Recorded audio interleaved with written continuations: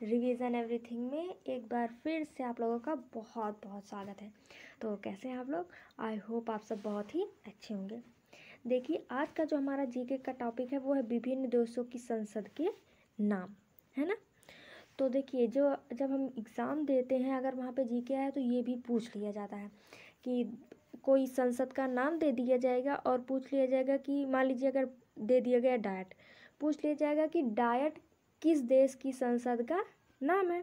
या फिर डायरेक्ट पूछा जा सकता है कि जापान की संसद का क्या नाम है? मतलब इसी तरीके से क्वेश्चन पूछ लिए जाते हैं। तो आज हम देखेंगे उसी संसद के नाम।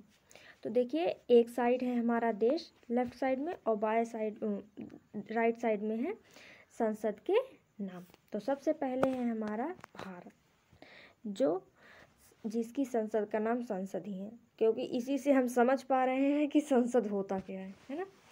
फिर उसके बाद है पाकिस्तान, जिसकी संसद का नाम है नेशनल असेंबली। फिर है ब्रिटेन, जिसकी संसद का नाम पार्लियामेंट है। और ब्रिटेन के बारे में एक आप खासियत और याद रखिएगा कि ब्रिटेन के पास अपना कोई लिखित संविधान नहीं है, ठीक है? फिर उसके बाद है जर्मनी जर्मनी की संसद का नाम है बुमस्टेक ठीक है? फिर है यूएसए। यूएसए यानी कि संयुक्त राज्य अमेरिका, है ना?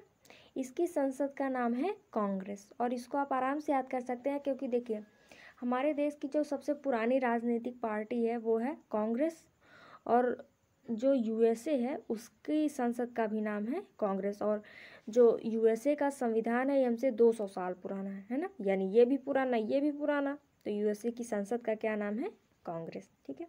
फिर उसके बाद है बांग्लादेश, जिसकी संसद का नाम है जातीय संसद। ये तो आप याद ही रख सकते हैं, है ना? फिर है ताइवान, उस, और उसकी संसद का नाम है युवान। देखिए, ताइवान युवान, यानी आन आन दोनों में मैच कर रहा है। इसको भी आप याद कर सकते हैं, है ना?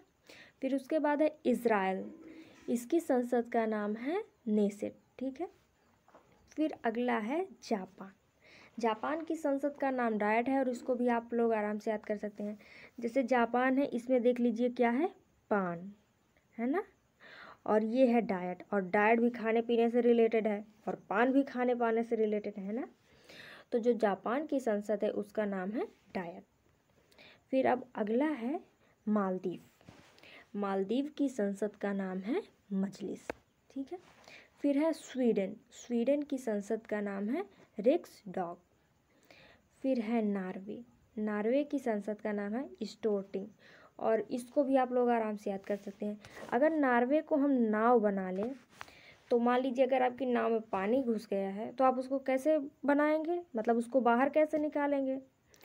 टोटी लगा कर देखिए यहाँ पे है ना टोटी यानी कि स्टोर्टिंग। तो जो नार्वे की संसद का ना, नाम है वो है स्टोर्टिंग। फिर अगला है आयरलैंड, इसकी संसद का नाम है डेल आयर, और इसको भी आप याद रख सकते ये आयर है ही, और इधर भी आयर ही लिखा है तो आयरलैंड की संसद का नाम क्या है? Dale Ayer. फिर उसके बाद है ऑस्ट्रेलिया, इसकी संसद का नाम है पार्लियामेंट, ठीक है?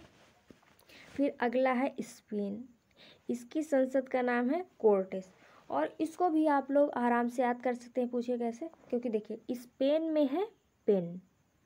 और यहाँ पे है कोर्ट तो देखिए जो पेन वगैरह वो तो होता है, वो हम लोग कोर्ट में लगाते हैं, है ना? तो जो स्पेन की संसद है, उसका नाम है कोर्टिस। फिर अगला है नेपाल। नेपाल के जो संसद है, उसका नाम है राष्ट्रीय पंचायत। इसको भी आप लोग याद रख सकते हैं, क्योंकि देखिए ये लिखा है पाल। पाल का क्या अर्थ होता है? बिछौना। जो ज़मीन पे बैठने से पहले बिछाया जाता है।